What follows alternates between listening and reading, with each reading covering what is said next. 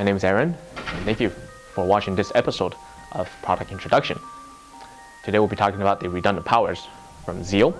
Xeal is a brand powered by iStar USA Group. Redundant power. In the last episode, we talked about some of the features and how they work. And today, we're actually going to put them all together with a computer system. Hope you're excited, as I am, to see. And uh, let's get started.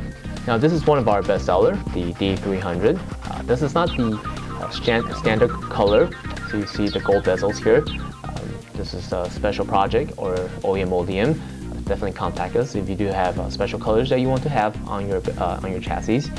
And um, over here, uh, we took out one drive cage, but in the, the original um, D300, uh, you're gonna have the drive cages here, no problem.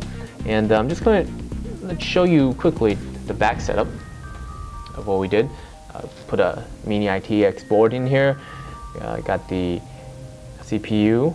Um, we have the hard drive over here hooked up. Also the memory.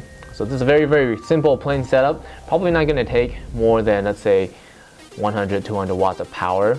Uh, so it's, it is really redundant to uh, put a redundant power in this thing, but uh, for demonstrations purposes, yeah, this is something that I think we can we can work on.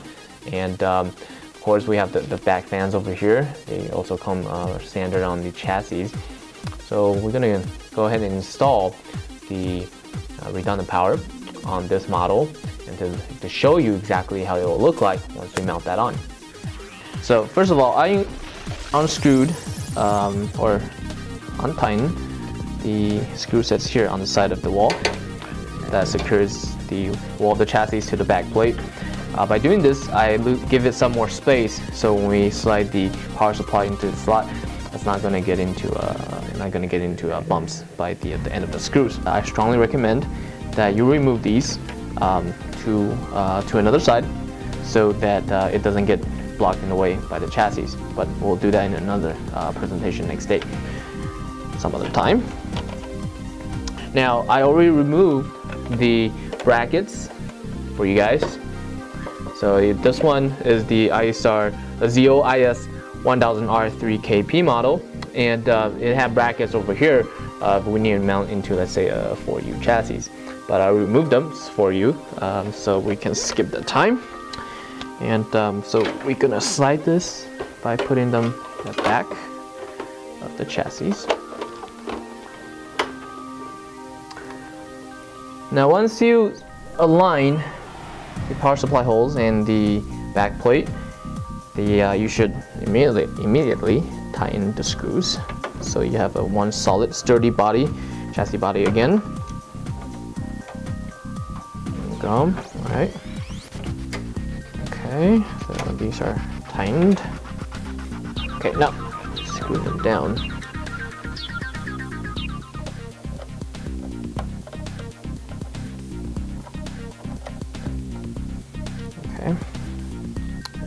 Here should do the job.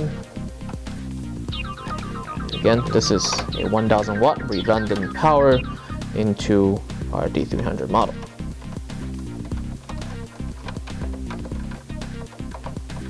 There we go. Two should do the job. And make sure you pull it. Uh, they're secure. Hook up. Hold the latch. Pull it. The module should come right up. Okay, now the rest, we will just connect the power to the hard drive and the motherboard and um, that should be it. So I'm going to take the power cords here. I only have one hard drive, but unlike many of you guys, maybe have uh, a whole set of hard drives lined up.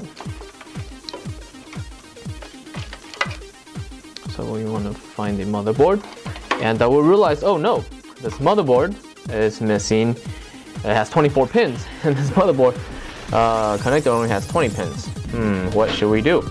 Well, it just so happens that iStar USA, uh, part of our Xeal brand, we also carry power supply cables. And so here is the 24 pin to 20 pin. And uh, you just put this on, on one end, make sure it's a secure fit. The other side, and uh, you just plug this into the motherboard so. There we go, nice and secure. And then you just take one of the Molex and we'll just plug that into, um, let's find the longest one and we'll just plug that, plug that into the hard drive. Over here.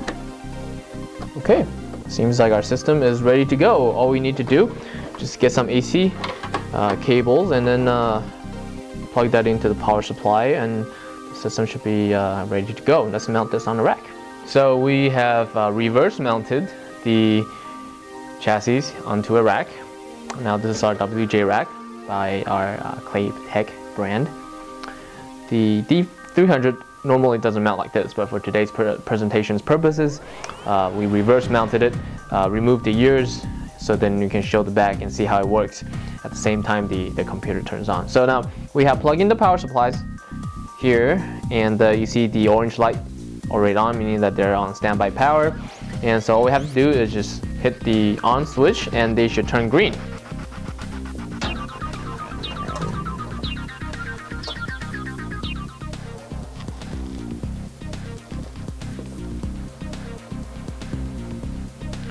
So as you see, the system's up. We're running an XP. It's a little bit old, but nevertheless suitable for the, just the testing. Now um, the system's up, so we're gonna turn our attention here to the power supply. Again, this is a three module power supply. So two of them are sharing the load. This is a 1000 watt power supply. So the two of them are sharing the 500 and the last one is on standby. Now let's say one of them, one of them failed. Um, you will get the notice, the uh, power supply will beep all you have to do is to pull out the bad power supply. And now these are sharing the load. Get these replaced or repaired immediately. So once you get the new one back, plug them back in, like so. And again, now you're at full redundancy again. Doesn't matter if the top one or the middle one or the bottom one. This is a hot swap redundant power supply. And with this in your system, you can ensure that your investment is protected, your clients are happy, and your users, well, they don't get any downtimes. So this is Aaron Wang and uh, signing off from iStar USA. Again, this is the Xeal power supply powered by iStar USA Group. Uh, definitely visit our website at www.istarusa.com You can hit the Xeal icon. It'll lead you to all the power supplies. And uh, before I go, just like to say thank you again for watching. Um, the product introduction is our first product demo, and uh, we have many more to come. And uh, we have uh, trade shows coming up as well IC West and NAB. Definitely hit our website to see which booth we are at, and then go ahead and visit us at the shows. Have a great one.